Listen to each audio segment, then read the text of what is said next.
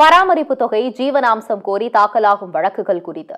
காலத்தில் விசாரித்து முடிக்க குடும்ப நல நீதிமன்றங்களுக்கு சென்னை உயர்நீதிமன்றம் நிபந்தனை விதித்துள்ளது.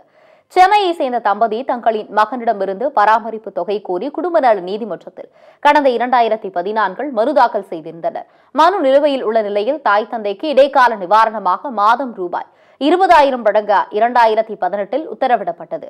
இதனை எதிர்த்து மகன் தாக்கல் செய்த சீராய்வு மனு இன்று உயர்நீதிமன்றத்தில் விசாரணைக்கு வந்தது. அப்போது வழக்கை விசாரித்த உயர்நீதிமன்றம் அதிருப்தி தெரிவித்து இரண்டாயிரத்தி பதினான்கு முதல் இந்த வழக்கு நிலுவையில் உள்ளதற்கு சென்னை உயர்நீதிமன்ற நீதிபதி வேல்முருகன் அதிருப்தி தெரிவித்தார்.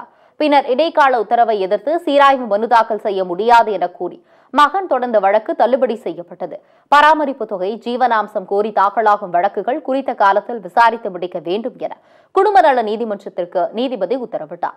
மேலும் இந்த வழக்கை மூன்று மாதத்திற்குள் விசாரித்து முடிக்க குடும்ப நல நீதிமன்றத்திற்கு உயர்நீதிமன்றம் உத்தரவிட்டுள்ளது.